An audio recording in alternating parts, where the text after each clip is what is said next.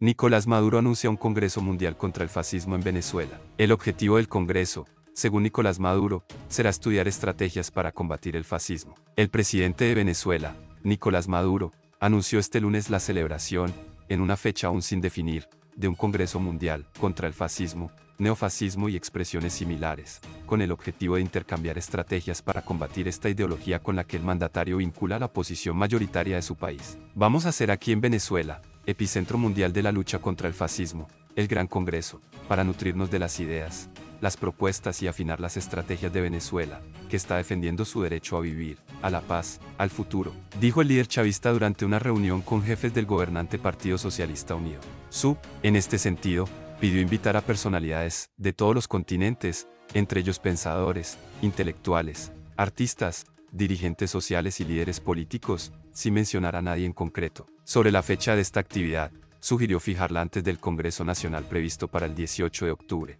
en el que Maduro espera recibir propuestas de todos los movimientos sociales para construir una agenda concreta de acción que permita alcanzar transformaciones rumbo al 2031, cuando finaliza el periodo de gobierno que arrancará el próximo enero. El anuncio de la celebración de un Congreso Mundial se produce dos días después de que el mandatario pidiese al Parlamento, controlado por el chavismo, aprobar, muy rápido, una ley contra el fascismo, cuyo contenido socava el espacio cívico y democrático, según el alto comisionado de las Naciones Unidas para los Derechos Humanos, Volker Turk. Maduro considera que la principal coalición opositora, la Plataforma Unitaria Democrática, PUD, está liderada por fascistas, una acusación que ha reiterado después de las elecciones del 28 de julio, en las que fue proclamado vencedor, lo que ha sido cuestionado dentro y fuera del país. La PUD asegura que su candidato, Edmundo González Urrutia, ganó los comicios por amplio margen, lo que el gobierno ve como un plan golpista y fascista, en su contra. En abril de 2022, Caracas acogió, durante tres días, una cumbre internacional contra el fascismo,